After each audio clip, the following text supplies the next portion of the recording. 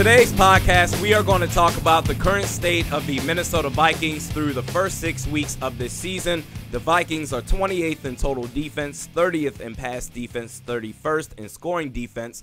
They are currently last in the NFC North Division. They are currently tied for last place in the NFC Conference.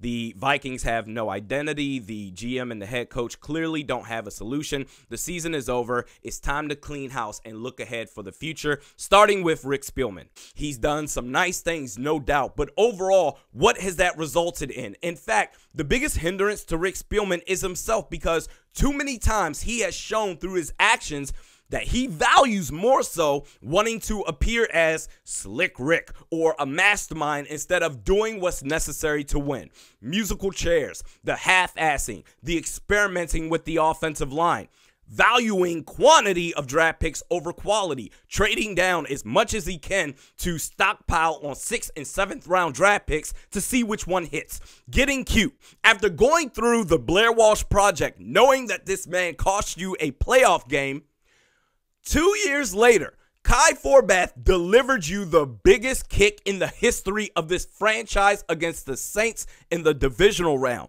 The following offseason, you, Rick Spielman, told Kai Forbath to fuck off. Screw you.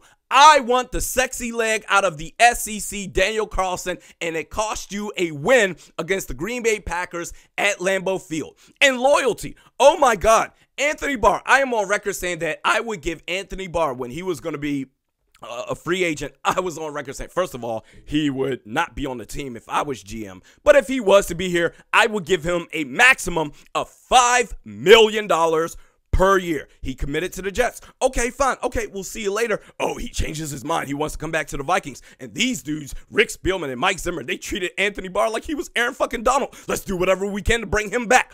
All of that Rick Spielman has shown that he values all of that over winning. The Minnesota Vikings deserve a general manager who takes his job and the franchise's ability to win seriously. We now go to Mike Zimmer. We have reached the ceiling of Zimmer as a head coach. We know exactly what we're getting from this guy. We're not going to win anything as long as he's around. Why? Because we've seen over the last five straight years a continuous pattern of epic meltdown starting in 2016 You started the season off 5 0, You fell to 8 and 8. Your team quit against the Indianapolis Colts and I said, "You know what? That's not a good look.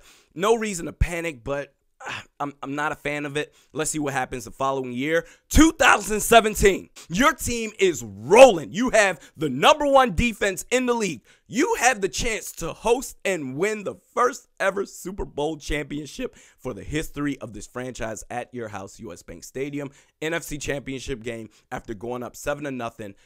You guys remember how you felt watching that game? It was preceded by three hours straight of watching this and saying to myself, this was a waste of my fucking time. Your team did not show up. 2018, week 17 against the Chicago Bears. You have a chance to make it to the playoffs. All you have to do is win. In fact, the Chicago Bears, that gave you a layup. They rested half their starters at one point in that game. You played your whole starters, and you were still no match for the Chicago Bears. 2019, the wild card game against the Saints, it was great. It absolutely was. But then the following week, your team quit against San Francisco. We then get to 2020. Right now, you are one in five. We are in year seven. There is nothing else to see here. In fact, the reason why I am so harsh on Mike Zimmer is because you need to keep that same energy. The false bravado, the arrogance, the stubbornness, the just, uh, it's my way or the highway. Who the fuck do you think you are? Leslie Frazier I did this podcast long after Leslie Frazier, but Scouts Honor. I sat there and said to myself, you know what? He's not the right coach, but I was never like, fuck Leslie Frazier, blah, blah, blah, blah, blah. Mike Zimmer is basically Brad Childress on steroids. The Minnesota Vikings deserve a head coach who is innovative, who can adapt, and someone who can consistently have his team prepared to play in big games. You know what? Any team, they can win the Super Bowl. Whether you win the Super Bowl or not, I'm not going to eat your lunch for that. But can you be competitive consistently? I think that is a great fucking baseline to have if you're going to be a head coach in the NFL, especially considering the talent that this man has had. Mike Zimmer needs to be gone. And then finally, to end with Kirk Cousins, I still stand by what I said to some degree. I think over in San Francisco, he would have a lot more success. But you know what? In the interest of guys like Justin Jefferson, because anybody with common sense can tell it is clear for this franchise, Justin Jefferson is way more valuable than Kirk Cousins. It wasn't fair to a guy like Stefon Diggs. It's not fair to a guy like Justin Jefferson right now. We need a quarterback who can operate under a larger margin of error.